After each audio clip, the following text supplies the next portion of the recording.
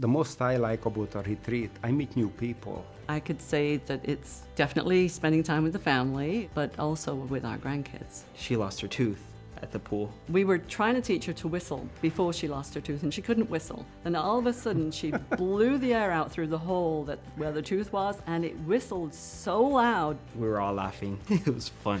Of course, the spiritual value, which you can't get in the world vacation experience. You can't really put a value on that. I think the reason you should really pray and consider going to the retreat is it's irreplaceable value to spend time together with God's family. Spend more time together.